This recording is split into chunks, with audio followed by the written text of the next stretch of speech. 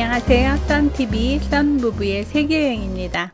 가나다와 구경을 잘하고 가가온천으로 이동합니다. 특급 열차를 타면 30분도 안 걸립니다. 오늘은 가가온천의 루리코 요칸에서 하루 숙박할 예정입니다. 가가온센역에 도착했습니다. 신칸센 가가온센역 공사가 한창입니다. 안 그래도 가가의 인기 료칸은 예약하기 힘든데 신칸센이 완공되면 더 난리 나겠네요. 역에서 료칸까지는 송영 버스가 있습니다. 예약은 필요 없고 정해진 시간에 오고 갑니다. 여기에서 기다리고 있네요. 가가온천은 1300여 년 전인 8세기 순례를 하던 불교 승려가 발견한 온천입니다. 그때부터 일본 최고라는 찬사를 받았으며 소화 촉진, 근육통 및 피부 질환 완화와 같은 치유의 효험을 지닌 것으로도 알려졌습니다.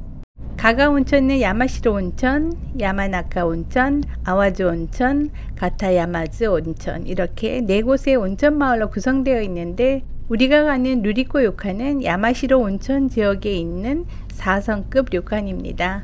원래는 이 지역에 있는 일본 전체 료칸 순위 7위인 유노쿠니 텐쇼에 가고 싶었으나 이날 완전 만실로 예약이 불가능해 그 옆에 있는 같은 4성급인 누리코 료칸을 선택하게 되었습니다. 누리코에 숙박을 하게 되면 걸어서 5분쯤 떨어진 자매 료칸인 4성급의 하토리 료칸의 온천도 무료로 사용해 볼 수 있다는군요. 하지만 썬부부가 숙박한 날 마침 수학여행으로 전관 예약이 돼서 하토리의 온천은 가보지 못해서 아쉬웠습니다. 전날 일본 료칸 전체 1위인 카가야 료칸에서 숙박했기 때문에 과연 여기 루리코 료칸에 만족할 수 있을지 궁금해집니다. 카가야 료칸에 관한 영상 올린 것 있으니 꼭 한번 보시고 비교해 보세요. 역에서 약 15분 정도 걸려서 료칸에 도착했습니다. 체크인하고 라운지에 앉아서 가져다 주는 다과를 먹으며 기다립니다. 방으로 왔습니다. 약 10조짜리의 다다미 방으로 별다른 장식이 없이 간결합니다.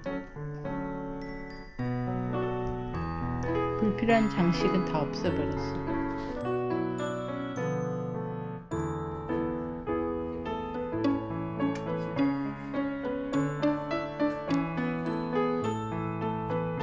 멋있지는 않지만 시내가 보이는 답답하지 않은 전망입니다.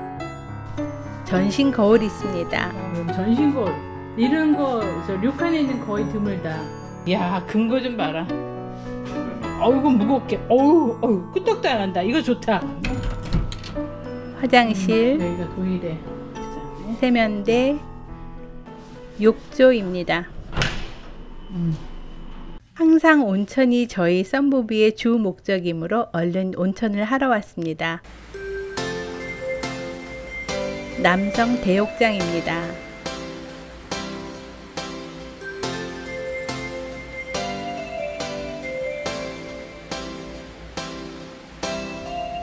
남성 야외 노천탕입니다.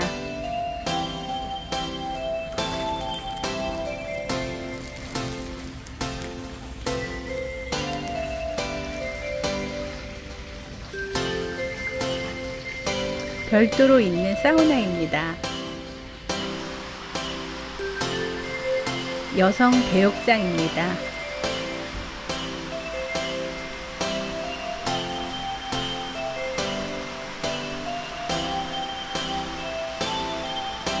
여성 노천탕입니다.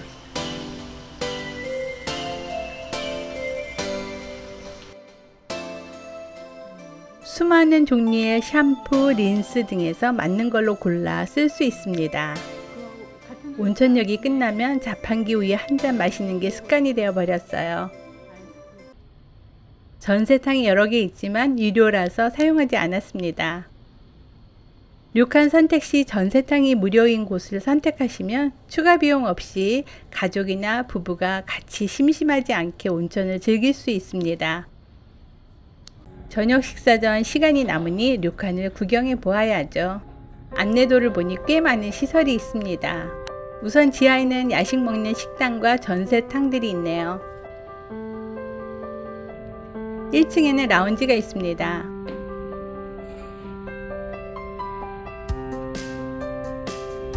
오후 6시까지는 무료 다가가 있습니다. 노장 게스라는 극장입니다. 입구가 화려하고 멋있습니다. 기념품 샵 있고요.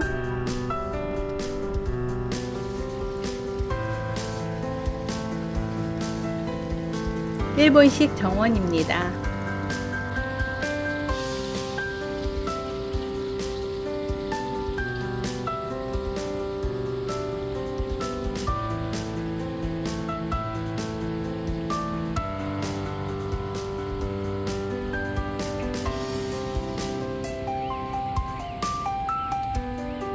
정원에는 조격탕도 있습니다.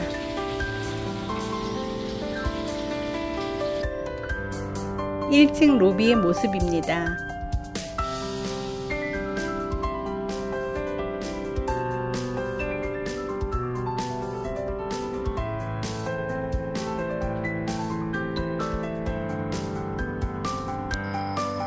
이건 바깥에서 본 료칸 모습이고요. 9시부터 북 연주가 있다네요. 구경하러 와야겠습니다.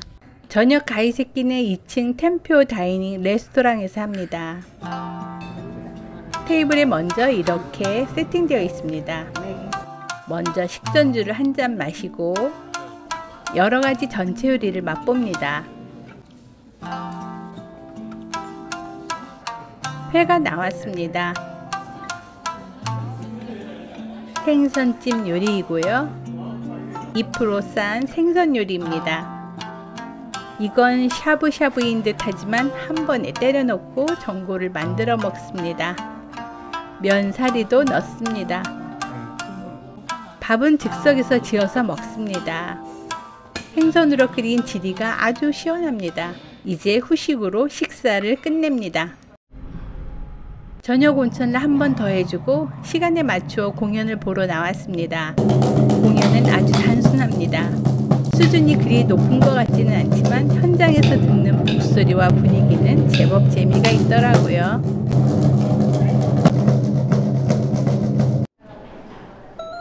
아침 식사도 저녁과 같은 장소에서 뷔페식으로 합니다.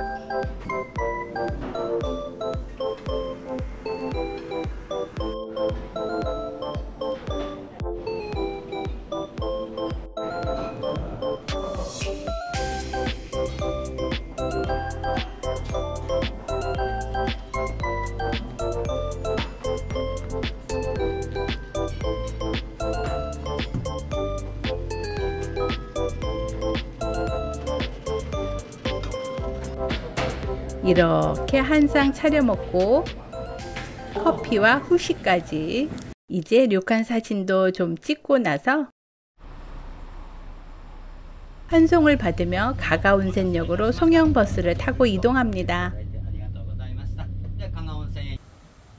오늘은 여기까지 하고 다음 영상은 대박 나가시마 온천과 재미있는 놀이공원은 물론 대형 아울렛까지 즐기는 호텔 나가시마의 이야기로 만나겠습니다.